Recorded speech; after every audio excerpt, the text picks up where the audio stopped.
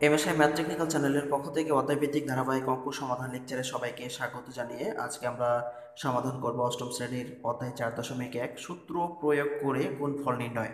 সূত্র প্রয়োগ করে কীভাবে গুণফল নির্ণয় করতে হয়, এটি আজকে আমি তোমাদেরকে শেখাবো। তো যারা তোমরা এই যে অষ্টম শ্রেণির ছাত্রছাত্রী আছো, তোমাদের জন্য অত্যন্ত কাজে আসবে আজকের এই লেকচারটি কীভাবে তোমরা সূত্র প্রয়োগ করে গুণফল নির্ণয় করবে।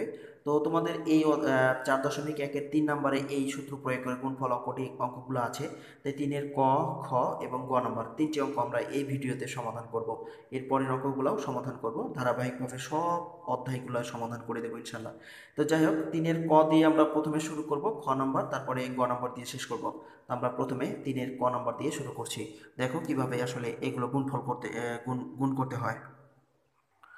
তো তিনের ক নম্বরে যে প্রশ্নটি আছে X plus seven into X minus seven এটা হচ্ছে X plus seven into X minus seven এটা দেখতে পাচ্ছ তোমরা যে A plus B into A minus B এর সূত্র যে আমরা একটা পড়েছিলাম, অর্থাৎ তোমরা সবাই জানো A square minus B square এই সমান একটা সূত্র তোমরা সবাই পড়েছো, তো এটা সমান সূত্র আমরা জানি যে A plus B into A minus B দেখো তো, ভালো করে খেয়াল করো যে এখানে এই সূত্রটাই কিন্তু প্রয়োগ হয়েছে। অর্থাৎ এইটাকে যদি আমরা এ ধরি আর এটাকে বি ধরি, তাহলে A plus B into A minus B তো A plus B into A minus B সমান লিখতে পারছি কি? A square minus B square তো এটা খুবই সহজ, দুই লাইনে অ্যান্সার হয়ে যাচ্ছে।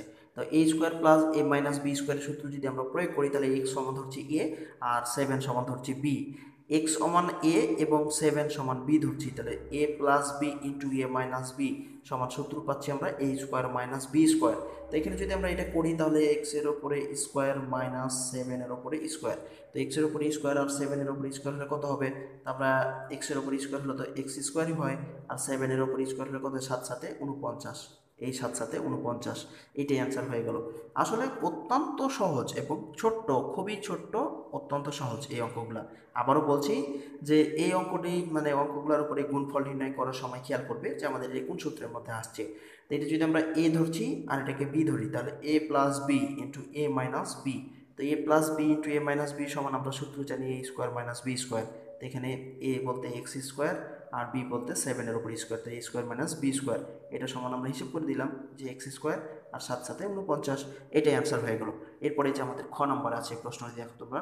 খ নম্বরে যে প্রশ্নটি আছে, এখন আমরা সেই খ নম্বরটা করব। অর্থাৎ এখানে ফাইভ এক্স প্লাস তেরো, এরপরে ফাইভ এক্স মাইনাস তেরো, এই যে অঙ্কটি আছে, এখন আমরা এটা সমাধান করব।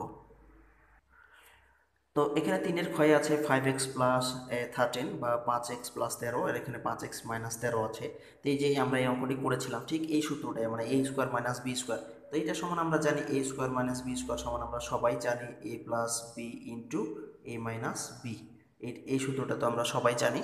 তো এখন যদি এই সূত্রটাই প্রয়োগ হয়েছে, এখানে আমরা এটাকে এই ধরছি, এটাকে আমরা এ ধরে নিচ্ছি, মনে মনে এটাকে এ আর এটাকে ধরে নিচ্ছি আমরা বি তো দেখো তো A plus B into A minus B তো A plus B into A minus B সমান আমরা জানি A square minus B square তো এখন এই সূত্রটি এখানে প্রয়োগ করে দিই, অর্থাৎ এ স্কোয়ার বলতে এখানে ফাইভ এক্সের উপরে স্কোয়ার মাইনাস বি স্কোয়ার বলতে তেরোর ওপরে স্কোয়ার তো তেরো করে দিলাম। এখন আমরা হিসাব করে নেব। তো পাঁচ এক্সের উপরে স্কোয়ার তো যে সংখ্যার উপরে স্কোয়ার থাকে, ওটাকে ওই সংখ্যা দিয়ে গুণ করতে হয়। তো পাঁচ এক্সের উপরে স্কোয়ার তার মানে পাঁচ এক্সকে পাঁচ এক্স দ্বারাই গুণ করতে হবে। তো পাঁচ পাঁচে পঁচিশ গুণ করে নিলাম, আর এক্সের এক্স আর এক্স গুণ করলে এক্স স্কোয়ার এরপরে মাইনাস তেরোর উপর স্কোয়ার তেরো তেরো একশো উনসত্তর। তো এই হলো আমাদের এই তিনের খ নম্বর প্রশ্ন। এগুলো খুবই সহজ, তোমরা যদি একটু মনোযোগ সহকারে সূত্রগুলো মুখস্থ করে রাখো, তাহলে তোমাদের জন্য এ ধরনের অঙ্ক করা অত্যন্ত সহজ হয়ে যাবে। এরপরে আমাদের কি আছে? এরপরে আমাদের যেখানে গ নাম্বার আছে যে X Y plus Y Z এরপরে X Y minus Y Z এখন আমরা এটা সমাধান করব। এটাও এই এই সূত্রটাই আসবে, অর্থাৎ A plus B into A minus B এরই সূত্র আসবে। তো দেখো আমরা এখন তিনের ক নম্বর প্রশ্নটা সমাধান করছি। তো এখানে তিনের ক নম্বর এটা X Y plus Y Z এরপরে X Y minus Y Z এই যে এখানে আমরা যে অঙ্কটি সমাধান করলাম ঠিক একই। শুধুমাত্র এখানে সংখ্যাগুলো পরিবর্তন হয়েছে, এখানে ছিল ফাইভ এক্স আর এখানে তেরো, আর এখানে শুধু এক্স ওয়াই আর Y Z Y X Y এবং ওয়াই জেড এটাই শুধু পরিবর্তন, কিন্তু অঙ্কের নিয়ম তো ঠিক আছে। অর্থাৎ আমরা তো এটাও দেখতে পাচ্ছি যে যদি এটাকে এ ধরি, অর্থাৎ এটাকে আমরা এ ধরি, আর এটাকে যদি আমরা বি ধরি, তো এ প্লাস বি হচ্ছে এরপরে ইন্টু এ মাইনাস বি হচ্ছে, কারণ এক্স ওয়াই এটা ওয়াই জেড একই তো। A plus B into A minus B তো এটা তো আমরা বারবার এই সূত্রটা লিখছি যে A square minus B square সমান আমরা জানি যে A plus B into A minus B এটা তোমরা বারবারই লিখে দিচ্ছি, তোমরা বারবার দেখলেই মনে হয়ে যাবে। তারপর এখন আমরা এই সূত্রটি প্রয়োগ করব। অর্থাৎ A plus B into A minus B যদি হয়, তাহলে আমরা লিখতে পারব যে A plus B into A minus B সমান A square minus B square তো এ বলতে এখানে এক্স এবং ওয়াই এর উপরে স্কোয়ার এরপরে মাইনাস বি বলতে এখানে ওয়াই এবং জেড এর উপরে স্কোয়ার তো A square minus B square হয়ে গেল। তো এখন আমরা এটাকে একটু হিসেব করে ফেলব। অর্থাৎ এখানে স্কোয়ারটা কিন্তু এক্সের উপরেও আছে ওয়াইয়ের উপরেও আছে। তো যদি এক্সের উপরে এবং ওয়াইয়ের উপরে স্কোয়ার হয়, তাহলে পাওয়ারটা আমরা আলাদা আলাদা করে দেবো। অর্থাৎ এক্স স্কোয়ার ওয়াই স্কোয়ার এরপরে মাইনাস এখানে কী হবে? ওয়াই স্কোয়ার এরপরে জেড স্কোয়ার এই তো এটাই অ্যান্সার হয়ে গেল। এইগুলো আসলে অত্যন্ত সহজ এবং অত্যন্ত স্বল্প সময়ে এই অঙ্কগুলো করা যায়। মাত্র দুই তিন মিনিটের মধ্যেই বা এক মিনিটের মধ্যে এই অঙ্কগুলো করা যাবে। তিরিশ সেকেন্ডের মধ্যেও করা যাবে যদি তোমরা একটু মনোযোগ সহকারে দেখো। তো এই ছিল আমাদের এই তিনটি অঙ্কের সমাধান। আশা করি বুঝতে পেরেছ। এরপরে তোমাদের আর এই সূত্রের প্রয়োগ করে কোন ফল নির্ণয় করতে সমস্যা হবে না। তারপরে এখন আমরা তিনের ক এবং খ ক, খ, গ তিনটি করলাম। এরপরের ভিডিওতে আমরা এই পরের তিনটি করব। তিনটি করে আমরা এই গুণফলগুলো নির্ণয় করে দিচ্ছি। সবগুলাই সমাধান করেছি।